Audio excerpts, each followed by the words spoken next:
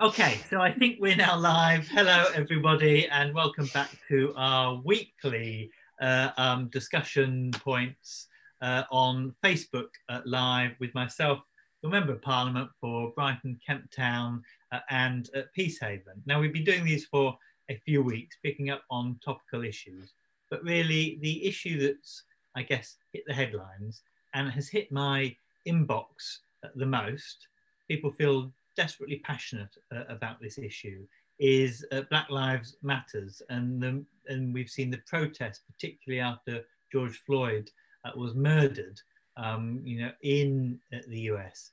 And I think, my perspective, is that this is, of course, not the first time that this has happened in the US. It's not the first time that we've had protests, um, uh, and of course, things like this have happened in the UK as well. You know, kind of deaths in police custody continued to happen uh, in Britain. But the particular, this particular instance has caught people's uh, emotions. I think it has come at a time when we have felt that the world maybe is not going in the right direction. Particularly, um, we've seen the impact of BAME communities with COVID and that report that came out. And I suspect a number of these things have come together to, uh, to create a breaking point maybe is the wrong word, a tipping point, because to some extent it's rather fantastic that uh, what we're seeing is this real um, uh, uh, kind of emancipation of people feeling that they can no longer keep quiet and they must stand up and speak out. And I know that I went on a number of the protests uh, with a mask some of the time I had and uh, socially distance, of course. You now got to say these things, otherwise you get condemned by someone. Um, but I went on those protests. And most of the time, actually, I was standing on the side applauding the young people and predominantly young black, but, you know, kind of uh, young people from all different uh, ethnicities who were marching and who were passionate. And I felt it wasn't necessarily my role to march, but to celebrate and support them. And I, I stayed until very late on the first night uh, just making sure that they were okay. And there were a few scuffles with the police, but broadly on the first day of it, it, it went very well in London. But you know, you're not here just to talk, talk and listen to me. And we've got two fantastic people that I want to introduce. Um, my good friend Bell, who is the MP for Streatham, um, and uh, uh, has been a long campaigner uh, on this. I've known at Bell for a number of years, and particularly some of the stuff that you were doing as a student and, and beyond has, has really focused on uh, uh, making sure that we uh, abolish kind of racial inequality and, and fight for um, black people. And I really, you know, kind of uh, I, I, continue to be inspired by some of the work that, that you have done uh, and, and, do, Bell. And Erin James, who is the founder and editor of Tough Cookie uh, magazine as well. So two people uh, you who've been involved in some of these discussions, not just this week, but ongoing. And I hope that you uh, potentially can give uh, your thoughts as well. Look, everyone who's listening, if you put your comments, thoughts, and questions, more importantly, what you want us to focus on in this discussion in the Facebook um, comments below, we will get round to trying to answer as many as we can in the next 45 minutes or so as we go on.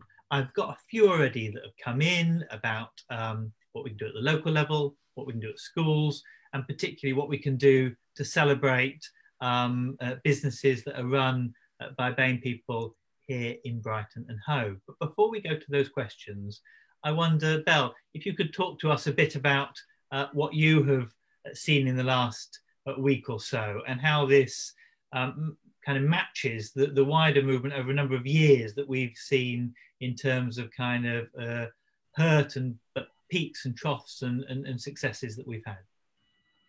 Well, I would say that it's, it's been amazing to see so many young people out, in particular, protesting. Some people that haven't been out before, um, and really engaging with what's what's happened. Now we know this was all sparked by uh, George Floyd, um, that yet another black man dying in police custody, as has often happened in the US and here. And we had seen protests like this before. Obviously, it, it's because it keeps happening um, over uh, has and has done over a number of years.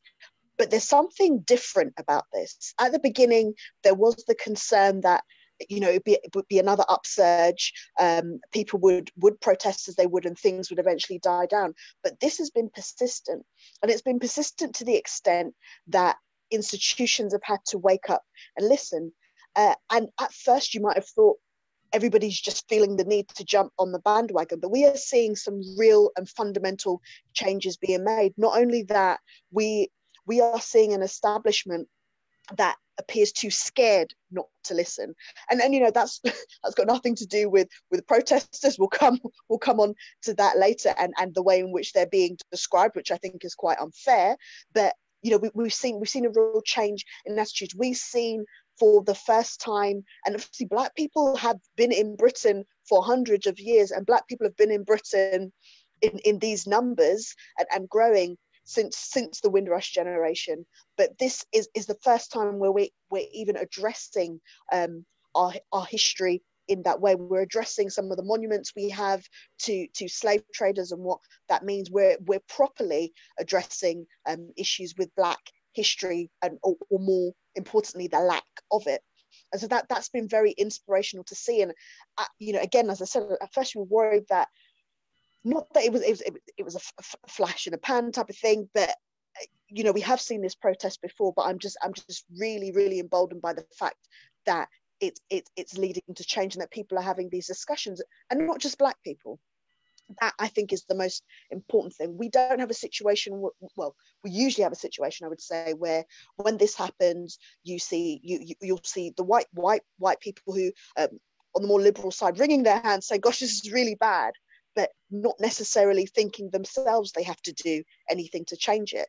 What I would say about this protest is there's been a lot of consciousness around it. A lot of people who are, are not black are coming forward and saying, "What do I need to do? What do I need to do a to be a better anti-racist?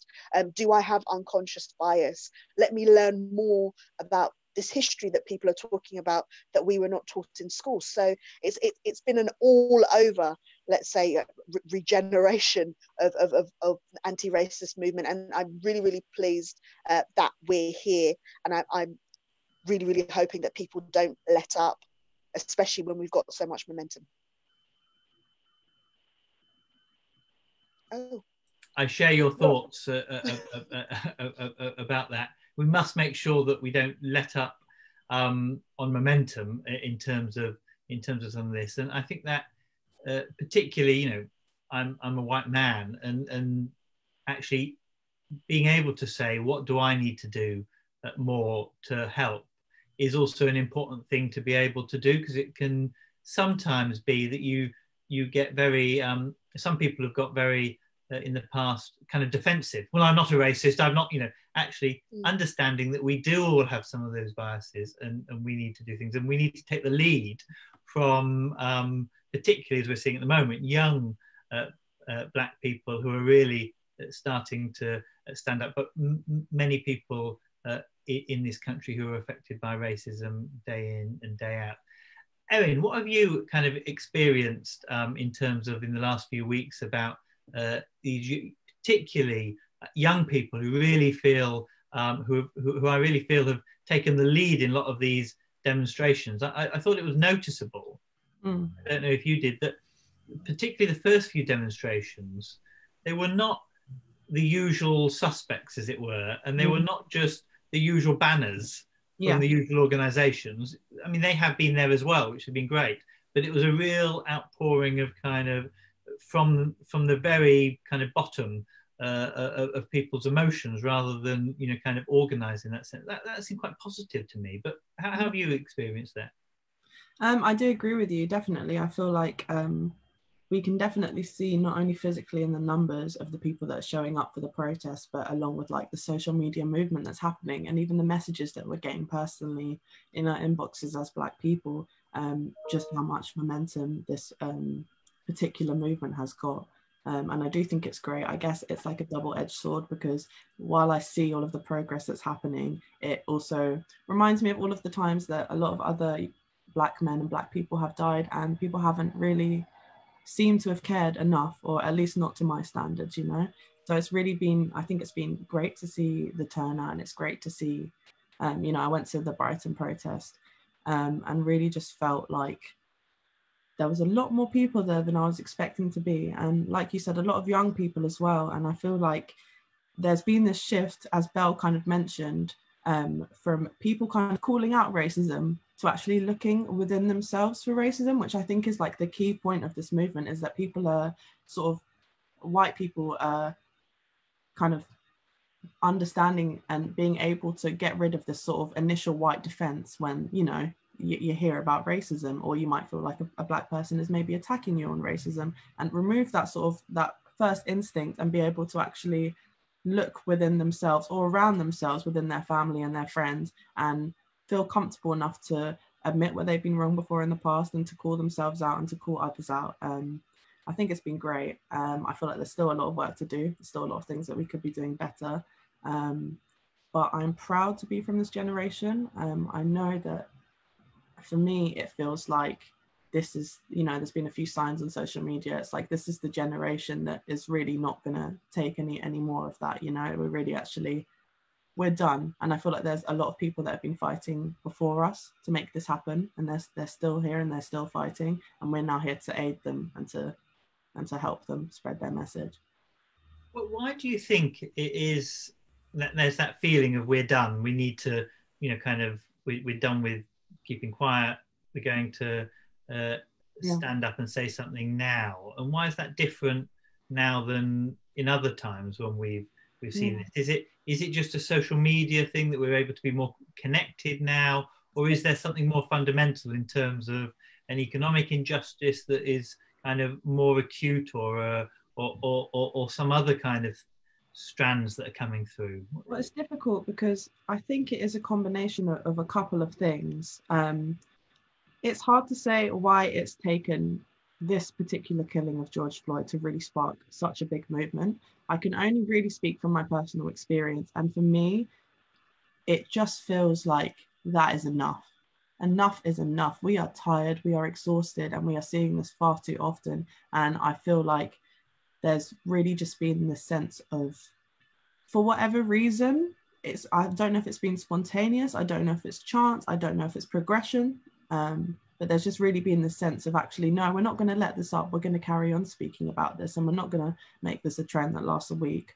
We're really going to carry on, and we're really going to um, push hard on this. I also do feel like because we're in such a weird moment in, in our society and in our lives where everyone's sort of in a very different routine to how they'd usually be, having a lot of time for reflection, having a lot of time alone or at home, there has been a chance for people to not be distracted by other things and carry on with their daily life and carry on with their own problems. Essentially, you know, people have been reduced to a very simple lifestyle um, because of COVID 19. So I feel like perhaps that has actually aided the movement in giving people this chance to breathe, to sit with these feelings, to, to sit with the movement and think about why they need to get involved and why this needs to last, you know, beyond a hashtag.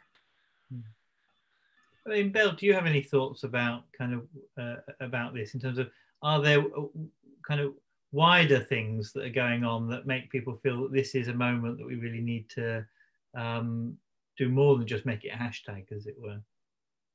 I think it's it's been a pylon, mm-hmm. um, as, it, as it's in a pylon of issues we've seen um, over the past few years, and obviously that's not discounting everything that's happened in the years before, a situation where we are we do have more access to information, and as we have more access to information um, via social media uh, and, and and and such, we are also seeing just the continuation of systemic racism. So in this particular in this country, you know, stops and search and deaths in custody have continued. Meanwhile, we've seen the issue with the Windrush crisis. Meanwhile, we see a continuation of the hostile environment, but you know, going beyond the Windrush crisis. And then on top of that, we have austerity, which has really massively impacted mm-hmm. um, the BAME community. And then we get to this this space uh, of, of the COVID nineteen, and, and definitely it's been um, you know, out, out, of, out of our normal routines, but also it's been the excessive deaths of, of, of, of Black people mm-hmm. from COVID 19. So I think all of those coming together um, and, and getting to a point, as you said, we're, we, we just, we're just not going to take it anymore. Every single part of society seems to play unfairly against our communities in a situation where we can see that things could be better. Perhaps mm-hmm. um, and and you know attitudes of the past uh, and and that's not saying that people didn't didn't fight against injustice before but i feel like in a, in a society where things are institutionally racist as black people you can in some ways accept what the situation is. You know you work hard for what you want but accept this inequality. What the difference is now with all of these things piled on people are saying we're not accepting it anymore. We know that things can change if you know we we solve the matters of institutional racism um, and we're, we're just not going to take it anymore. So it's it's piling on um, being being better educated about structures. And I, I think again through sharing things on social media and being better informed about what's happening i think there are a lot of things that people didn't know before. And they would have their own experience. Now they've got everybody's experience. And piling that all onto yourself makes you feel a certain weight mm-hmm. that you just can't carry anymore. And I think the protests are all about shaking it off. Yeah, yeah. There's something kind of um, cathartic about going out there on the streets and feeling that rather than that oppression being just on you yourself, by sharing it with others, you're able to also feel that um, you you can be part of your own liberation. I, I suspect, and I think that's true in, in lots of different forums. I think there's also something that struck me the other day. I always think of myself as very young, so do I, Lloyd. So do I. uh, I'm in. I'm in my mid thirties. Let's put it like that. You know, I'm an eighties, eighties born 80s child. baby. Yeah. Yeah, and and really, I grew up in my formative years. You know, kind of just after a lot of you know, kind of when I was really at secondary school, just after Stephen Lawrence, and just after a lot of that stuff. Yeah, the Labour government, and there was a feeling that things were getting better and that actually you just needed to hold on a bit because things were going in the right direction. And now I think that there's something a lot of young people that have that have come of age that you saw in those protests. They're 10, 15, sometimes years younger than, than, than, than, than myself.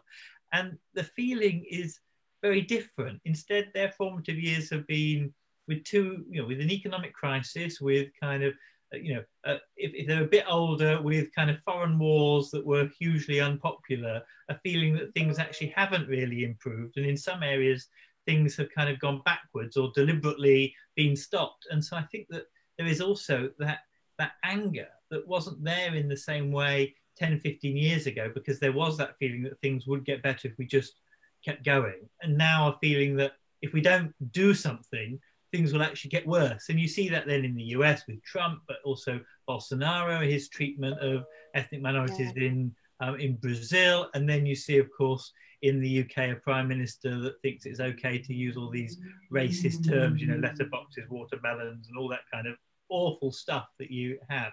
And actually, our leaders also are are, are complicit in this. So I, I, I don't know. I mean, I'll move on to some questions, unless there's did you want to come in on that, Erin? I just kind of wanted to to just kind of make a comment on what you said there and sort of why I think that the younger generation, you know, just speaking from our experiences, why we feel so angry and why we feel the way we do and why perhaps we're seeing more change happen at a quicker rate now. And I do feel like that's because um, we've sort of grown up where we have already accepted less than previous generations have mm-hmm. as the normal. So growing up, it was like there was already these changes being made to society in terms of trying to um, work on racism, institutional and structural. So there's already a sort of bar that's been set there for me personally. I see that's as I've grown up, I've seen society around me trying to work to change that, and then sort of recently seen that just not being met at all. And I also feel like um, there is definitely a a lack of trust in the government right now. I feel like they've definitely shown that, um, especially with like the corona situation. And I feel like this lack of trust is definitely a big um, reason as to why a lot of people are speaking out now and really getting angry and also really not being afraid to get angry. Because I feel like previously to this, I would not have been calling out a lot of racism um, that I've experienced for fear of white people not understanding or not getting it. Um, and I now feel like I'm able to. And I think it's quite interesting to see that actually now I feel like it's valid that I can call out racism, whereas before I found that difficult, you know? So yeah, it's just a point. Yeah, that's very that's that's very interesting. The changing kind of perspectives of ourselves. Look, I've got Ned here has emailed um, uh, um, and put in uh, and uh, said schools are important uh, as we know our formative years are the most important in our personal development. A lot of black people I know, including myself, experience racism in school. Some prejudice from school educators as well as direct racism from students. Is there anything that could happen on the local level or, you know, I guess also the national level to sensitize young people at school to these issues affecting ethnic minorities in this country and worldwide? Could that be delivered by BAME people in the Brighton community? Is something like this happening already? So, I mean, there are a few different parts of this question. One is how do we change the school curriculum? But the interesting part I thought to this question also was who delivers mm. the school uh, curriculum. So it's not just, you know, kind of your stuffy history teacher who, you know, kind of uh, specializes in World War One and Two um, and, and, the whitewashing of World War One and Two. Of course, let's remember Brighton was the home of the uh, of, of, the Indian regiment, but very rarely is it ever talked about, and it's you know kind of uh, the same with many other you know kind of the East Africa Regiment and others all fought in, in, in those wars, but very rarely talked about. But that idea that it's not just about the same stuffy teachers, but actually BAME people themselves helping deliver some of that education. Uh, there was well, there was we in our manifesto at the last election um, that we didn't win, unfortunately, although you fantastically joined us in Parliament. But we had a lot of this stuff in there, didn't we? Talk about uh, um, curriculum reform, um, getting to you know uh, talk about some of the atrocities of the empire and the British Empire a bit more openly. All of that was in there. Um, do you think that that will go somewhere now? Do you think that there's there's this kind of uh, momentum to ensure that we get curriculum reform? I think uh, with the protests and actually, um, again with the with the with the controversial nature of the statue, one thing that people have been crying out for is is more education mm-hmm. because people didn't know who Edward Colston was before. I mean, there are so many different slave traders, and people walk past the statues, see them everywhere, and they don't necessarily know what they represent. And I think it's shocking that a lot of people didn't or don't understand um, that slavery and colonialism made our country what it is, specifically what it is. And I think the fact that we don't learn that in schools um, is an issue. And I know there's been a lot more conversation about teaching. I mean, I, I asked the um, the leader of the House today if we put down a debate about it in Parliament, so that we could talk about, you know, properly teaching people these these things in our school schools. And I always say that um, an anti-racist education system is important because nobody's actually born racist. A babies come into this world and they know no different. Everything we do and all the behaviors we we put out are all because we learned them. And if we learn them there there should definitely be a situation in our schools where we're working to unlearn them.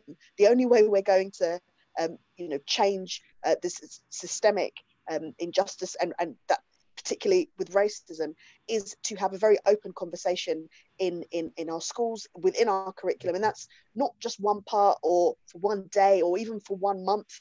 And in that one month, you're lucky if you have one week. And when you do, sometimes you're learning about American Black history, which is fine, but we have our own history here in the UK, our own civil rights struggle. And I think it's important that we learn about that. If we don't understand um, how our country came to be will never move forward in a way that's that's inclusive and in a way that um, you know respects all of our community. So it definitely it's definitely something that people are calling out for. We're calling out for it in, in, in Parliament, and hopefully, um, you know, we can work towards a, a curriculum that that reflects what this mm. country is.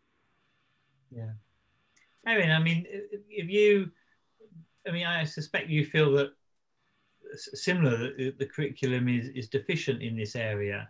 Mm. But in terms about who delivers the curriculum, is that something that, you know, I mean, I know our, particularly in Brighton here, that the reality is our teaching workforce is incredibly white mm. compared to um, uh, compared to other areas. And so actually understanding that the people delivering it also might need educating themselves and might need also uh, ability for for children and students to see different people in in those responsibilities? Mm-hmm.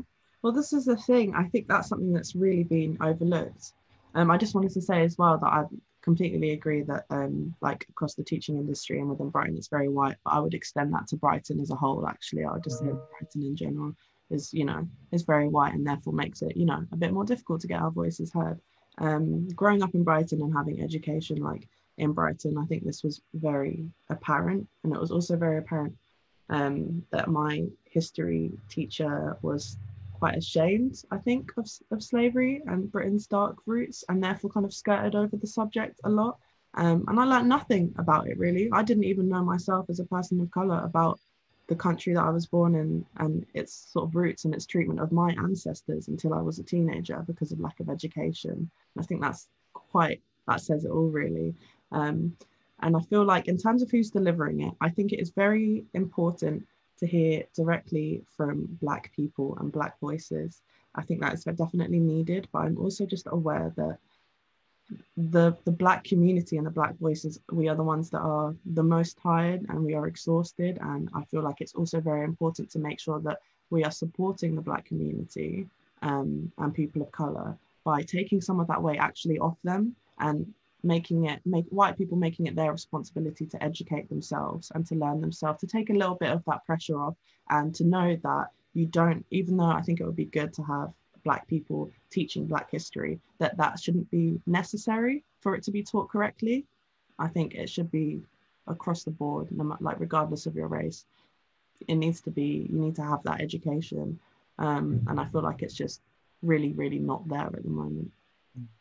I think you put it well just there where you said um, your teachers were almost ashamed of the of the history, and it is a shameful history.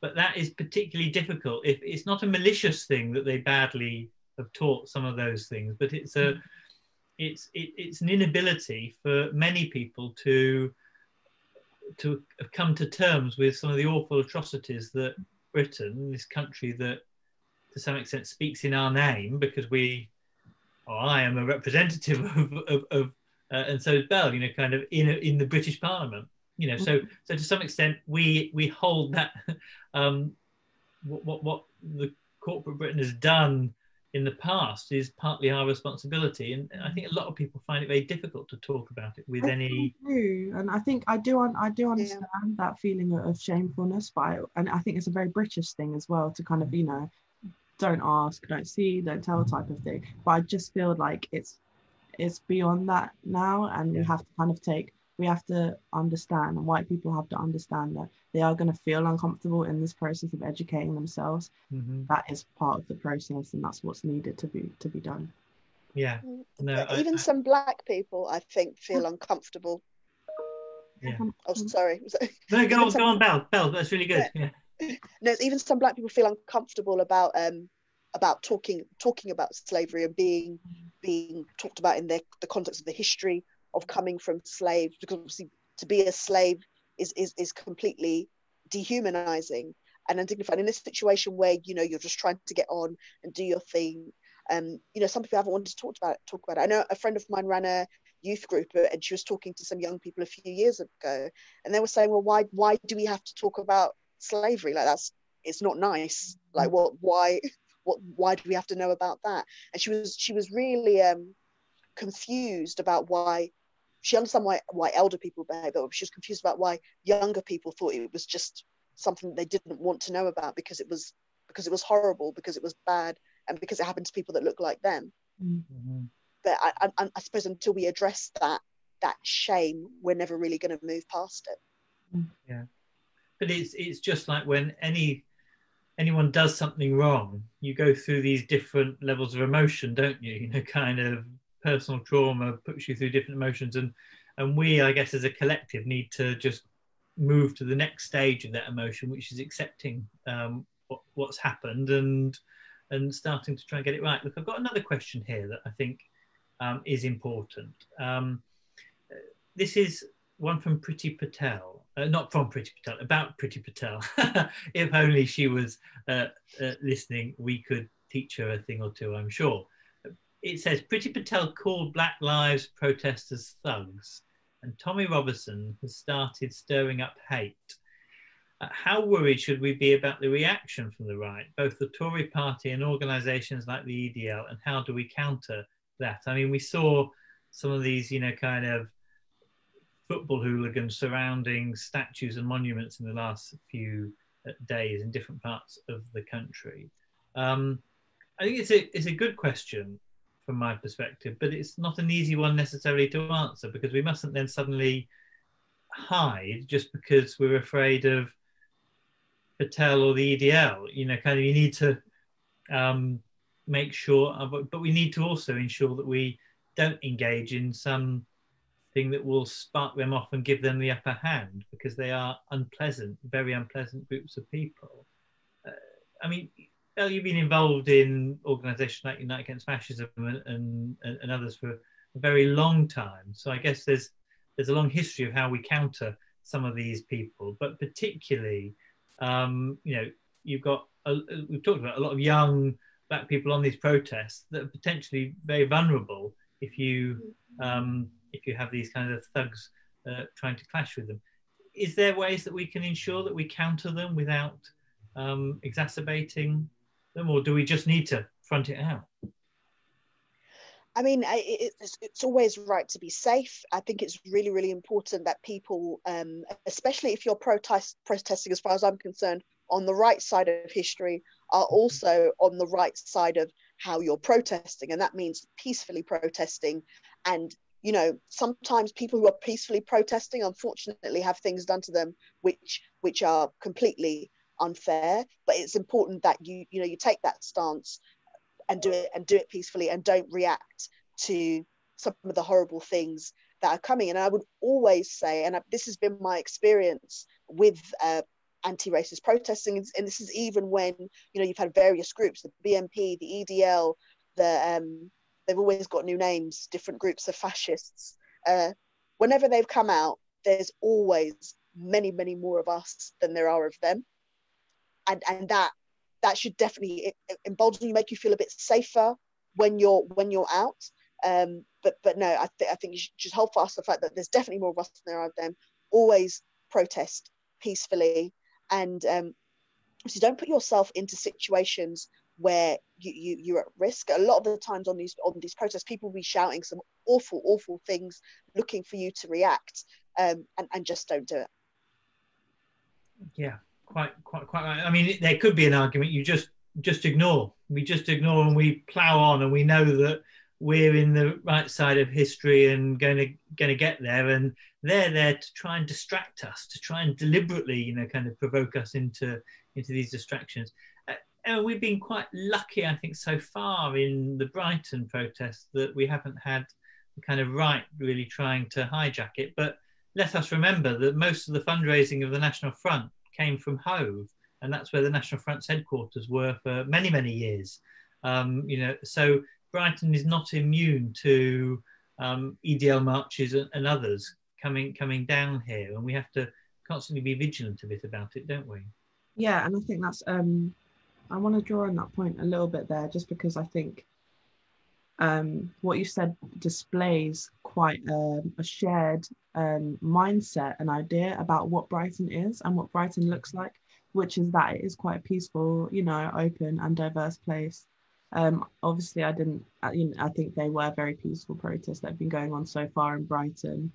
Um, but I don't want to give that to be kind of suggestive of or reflective of the Brighton or Sussex police because I've had really, really bad experiences with the Sussex and Brighton police, and I know that a lot of people have.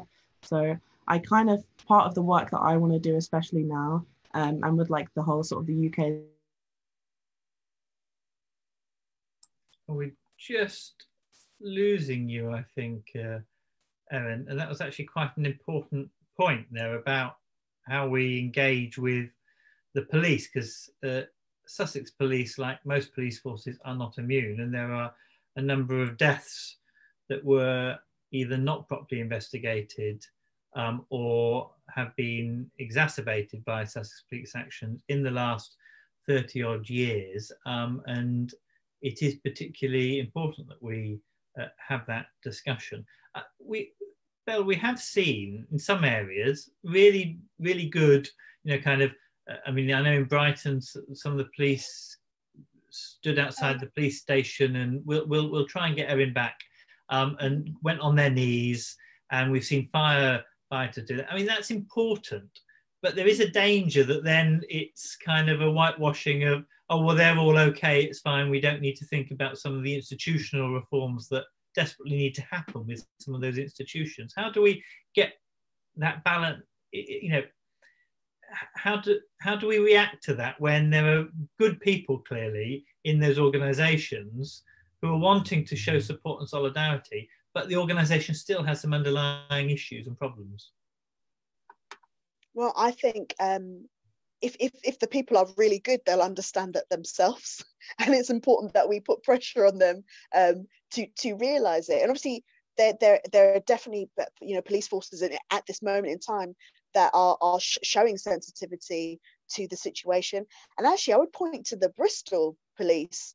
The Bristol police, when the statue was being taken down, I mean, what the first thing I thought when I was watching it, I was like, "Wow, where, where are the police?" Um, but when I heard one of the, the, the lead officers uh, speaking, gave an interview, and he said, "Look, you know, we are we are a community police force. We very much understand who this statue is and what this statue means to um, black people, particularly in Bristol, and what an issue of contention it is. We saw what they were doing. Um, obviously, we were watching for safety reasons. We uh, were taking a very certain approach to policing this demonstration because of the matter that it was on. We saw was happening. Nobody was harmed, and we thought to make sure that no one was harmed, we we allowed it to happen. And and one of them actually said, "Could you imagine the image of police officers stopping people from tearing down a slave trader's statue during a Black Lives Matter march?" He's like, "No, nobody would want to see that image." So we saw what was happening, and we allowed it to happen. And that is that is police a police force understanding um, the situation. But I would hope that also police force like that would understand there was much more to learn. Yeah, I think that uh, that interview from Bristol Police seemed to uh, be fantastic in the way that they expressed that. I thought it was expressed very well, and that decision was clearly uh, the right decision. It was very disappointing then hear Priti Patel in the Commons afterwards saying it was disgraceful and discussing using words that was focusing far more on look I, am no fan of statues being uh, torn down without going through the proper authorities and i suspect the case to tearing other statues down in that way doesn't exist now but sometimes you need to kind of break the dam you know what i mean you need to kind of mm-hmm. do the initial action i don't think you should necessarily do repeat that action everywhere but the initial action has been done now, and to spend our time condemning it or whatever seemed totally counterproductive in, in, in, in the Commons. But actually, there's danger there that in Priti Patel condemning it, some police forces then go, oh, well, Bristol did the wrong thing. We need to clamp down on it a, a bit more. Look, I, we've got Erin back, and you were making a good point there. Yeah, around, uh, we, we've kind of, we, we're talking broadly on, you know, institutions and and and, and, and the police because you had picked that up you know kind of that you can have individuals in those institutions that try and do the very best things but the institution itself still has a long way to go and you were talking about your desire to work with sussex police and the and the brighton uh, commanders and district uh, the brighton district particularly. Not to work with them but to but yeah. more raise awareness on yes. on the issues that black people and people of color face with the Sussex police. Um, and the statistic that I was just um, reading, it was uh, to finish it off between 2018 and 2019, black people were 11 times more likely to be stopped and searched than white people. Mm-hmm. That is higher than the national average in the country. The national average is 8%. So Sussex are actually doing worse than the rest of the country. And when you think about that in terms of this label of Brighton being narrative and, you know, Sussex being, um, Brighton being diverse and uh, Sussex being quite diverse. I think that really dismantles it and it's just quite a good, quite a good statistic to just show what I'm talking about. Um, and yeah, I just kind of feel like with everything that's going on with the protest, um, it's definitely great to see this um, whole sort of rhetoric of the UK is not innocent being really established and people really um, having time for that idea and doing some research into into why the UK is not innocent and why there is problems problems here. Um, and yeah, I kind of you know my parents moved me down to Brighton because they were under the impression that it was going to be like a safer place for them to live. Um, my family is white, and I guess they were kind of right in that sense. But growing up, I'm mixed race, coming from a white family, it was very difficult to sort of navigate this experience of growing up in Brighton in a very white space and feeling like, oh, I'm in the UK, I don't have anything to worry about with police, um, and kind of having that sort of crushed. Um, I got stopped once. It was snowing, and I was just painting, like finger painting, um, on the cars in the snow, and the police pulled me over and they threatened to arrest me for vandalism. Um, and they said that if I didn't want it to be arrested, that I needed to move on very, very quickly. And there was another time where I was at a beach party. The police came for whatever reason, I guess to shut it down. I was thrown to the floor for no reason. Uh, my black friend was pepper sprayed. Been a lot of examples of institutional racism around me. And it's like, I'm very glad that this movement has really taken off. And I'm very glad that the UK is being included. And I guess I feel my role now is to really speak out um, as a Black person who's experienced a lot of racism in Brighton um, about what has happened to me in order to not to shame people, but just to educate them a little bit and and and help them notice it a bit more around them. Yeah, it, it, it I think there is this awareness, um, which is really important about the UK ongoing issue and it, issues of racism, and it can exist in our institutions, in our police, but it all can it also can exist in local councils. You have the best local councillors and the local council staff can be really on board, but you have just decision making processes that make it very difficult to be able to actually work out um, a system that is not racist. You know, kind of the, the, the structure is set up. I, I, I, had a case a few years ago of a woman who was complaining about race, low level but ongoing racist abuse in her council flat with her neighbours. And the council kept saying, well, unless she's got a police report and there's enough to show that they've been violent against her, there's nothing we're going to do. And it kept going on until the woman felt unsafe to live there, ended up living, uh, moving into um, kind of in, in, in, into a tent. In fact, she said she felt safer there. And then the council said, oh, well, you've not lived in your council house now for six months. You've disqualified yourself from your council house. You don't need that anymore. And you've made yourself intentionally homeless, so we can't help you. This is a woman now who is um, still in the homeless support system. It ends up, it ends up being absolutely counterproductive for, for, for the council but that woman actually was reporting a legitimate concern but because it didn't meet the priorities and the thresholds mm. of what the council policy was because they said, oh, well, normal people would have no problem with going to the police and they can make a police report without understanding that there are some other issues that maybe mean that people don't feel comfortable about reporting to the police. And when they do, the police don't always pick up some of these issues in a, in a sensitive way. We, we help, we, we tried to intervene and help at the later stages of that, but by the time our office got involved, it was, you know, already months down the line and these things had already happened. But so that's just one example of where it's not just the police, but other institutions like the council as well that have uh, have these issues, and we know uh, that it's uh, that it's ongoing. Look, we're we're the time is ticking. Um, I've got uh, another question here, which is around. Um, uh, look, I'll, I'll, read it out and, and then we'll answer it, and then we'll probably wrap up if that's okay. Um, during this time, since the killing of uh, George Floyd and through the protests and the reaction here, um, an organisation in Brighton has uh, put up black businesses on Instagram. Looking at this, I feel very positive, the person says. This should be celebrated and it should be encouraged. Is there something that can be done at a wider level to support this? Could there be a festival or some activities post lockdown to celebrate uh, BAME businesses um, and, uh, and other activities uh, and contribution of BAME people here in Brighton and in the UK. Um, and the person's linked to the Instagram account, particularly uh, in that instance.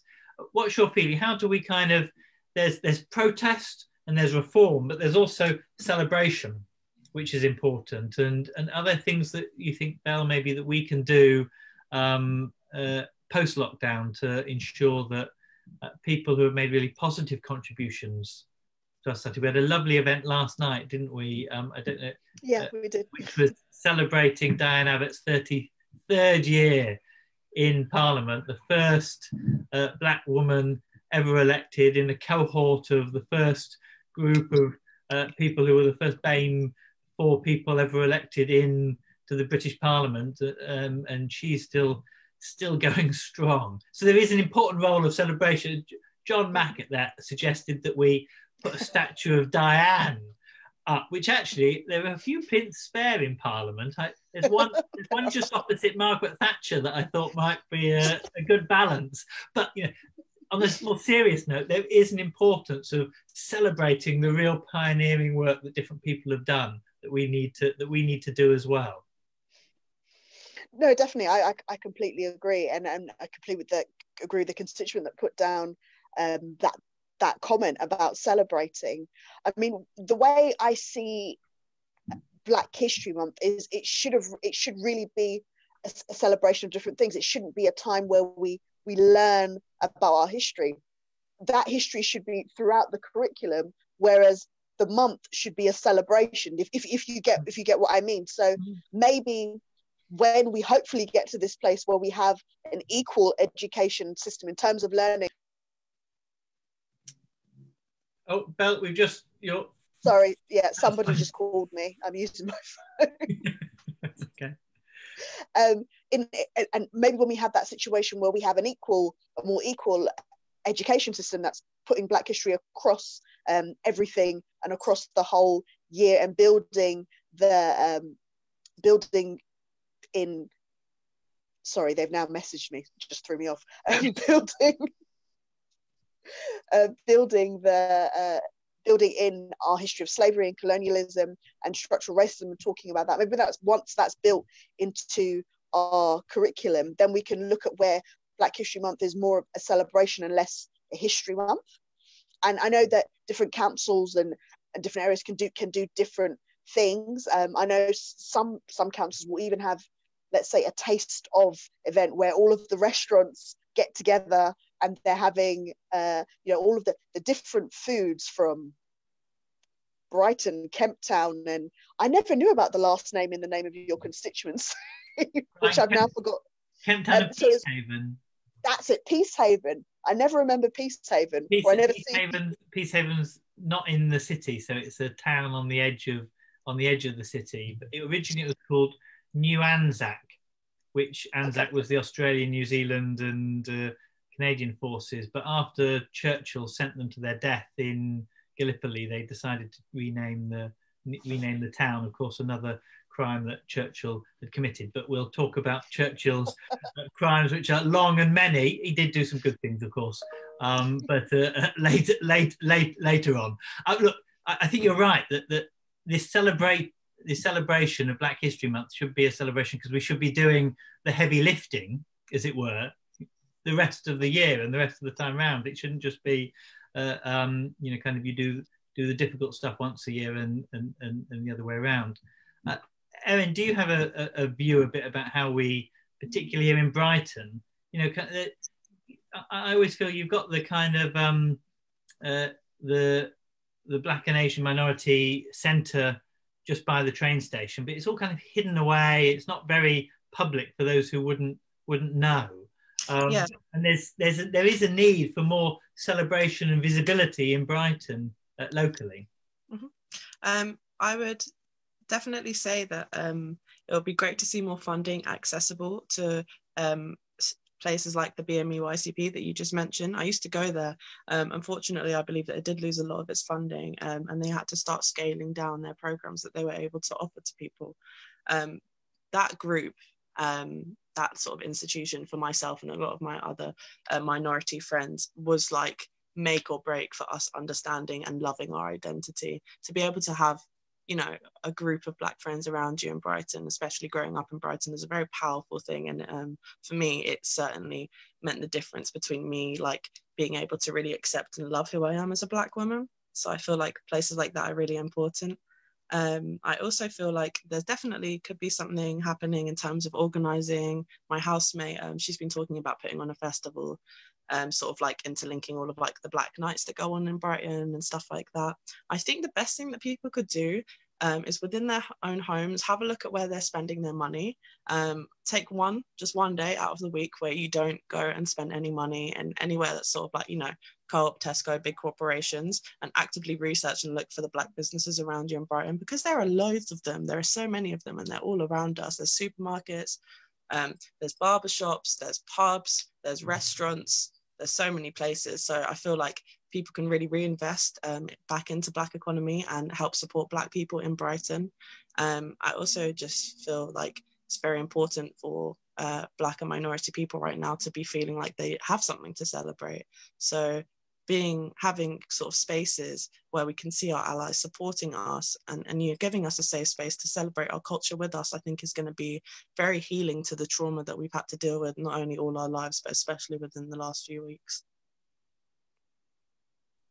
No, I, I agree, and making sure that we celebrate the different different aspects of um, the BAME community as well. And I know it's something that the guys at the at the Marlborough pub have been trying to work on for a number of years around pride, because mm-hmm. pride in um, pride in uh, Brighton uh, and actually in lots of places had been very white male uh, focused, and there was a real keenness to ensure that we celebrated uh, black and BAME queer artists and um, uh, uh and the contribution of the of, of, the black community to LGBT struggles, which Brighton generally is good on, um, but uh, is not good on understanding some of that intersectionality uh, mm-hmm. part of it. You know, kind of we, we're good on thinking we're all for gay liberation, um, but actually understanding there are multiple levels of that. And so actually making sure that we take some of that that is just a few days every year and actually expand that as well rather than it just being a few days on the side of pride around the corner in a nice little pub but you know kind of not the centerpiece and maybe we need to maybe we need to start making these things the centerpiece of what we do here in brighton and i suspect that's how we need to think about things uh, uh also on the national level not just as you mentioned bell a, a BAME History Month on the side or an extra little bit on the curriculum, but the centerpiece needs to be proper equality. Look, we're almost at our time. Is there anything else that either of you want to quickly say before we wrap up and say thank you? Um, no, this has been a really good chat. good. thank you very much for coming along. It's a, it's hopefully, it's a moment for us to talk about something every week. People mm. can comment along and re-listen to it as well um, yeah. on Facebook Live, and it will be subtitled uh, later on on YouTube. We've had a number of uh, uh, comments from uh, Hamilton Lodge, which is the the, the deaf school, uh, asking us to um, get a signer or mm. um, have subtitles. I'm afraid getting a signer to do it live is is just prohibitive for our costs um, if there is someone from Hamilton Lodge that wants to offer, I'm sure that we will be willing to. But what we are going to do is make sure all of the backlogs of these discussions and this one as well, the day after will be put on uh, YouTube with subtitles, so you'll be able to read it. So we hope that that will will help uh, ensure that. Um, thank you both of you coming uh, along and having this conversation. I really appreciate it. And to everyone else, have a good night. Continue to keep safe, keep your family safe, during this moment of crisis. And I hope that we will see you again next week. Good night. Thank you. Thanks. See you soon.